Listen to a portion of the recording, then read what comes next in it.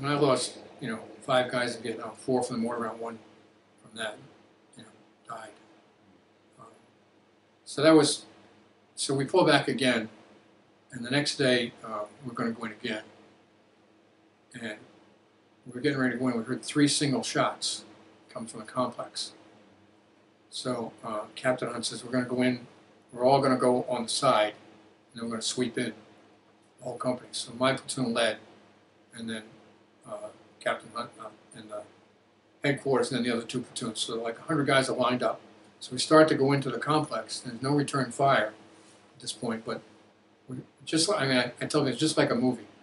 We're setting fire to the bunkers. We're, we're dropping grenades. I'm setting fire to the hooches, dropping grenades in bunkers. And we're in maybe 10 or 20 meters, and I get a call on the radio said they found Captain Vinci, the first commander. So we held up, and I went down where he was. And the three guys had been captured, the commander and the other guy, were in a ditch with their hands tied behind them. They had been executed. Those are the, three shots we heard that morning.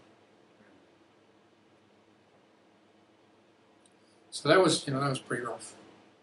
So we get into the complex, and they had left. We found some intel and actually said they knew when we were coming, and they're going to leave back, you know, a bunch of guys to keep us pinned down while they got all that stuff out. Which is exactly what they did. So we got into this complex, and it, you know, it was the hospital complex, and uh, there were pigs and chickens and stuff like that.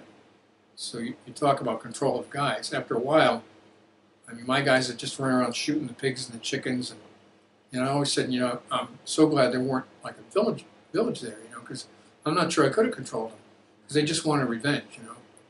I mean, you hear those stories, and it's true. Luckily, it was just pigs and chickens, you know. So uh, we're in the complex for a day or so. Another company met us there. So there's two companies securing this complex, and they're looking for all kinds of intel and stuff. And we're doing a little check around the perimeter, and I hear my point man say, "So I found some graves." I'm like, "Oh shit!"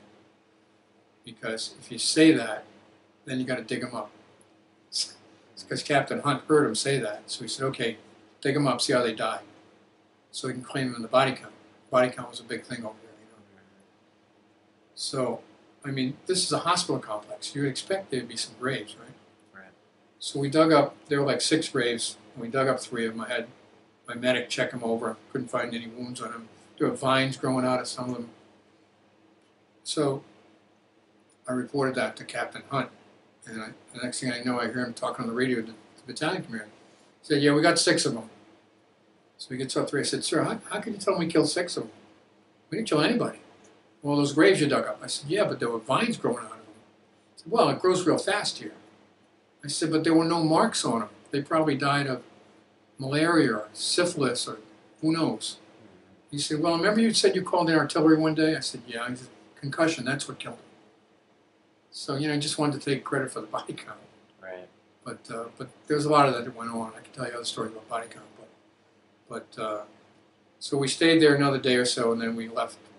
Uh, Cambodia went to, back to Vietnam, and I left the platoon maybe a week later and got the job as a civil affairs officer.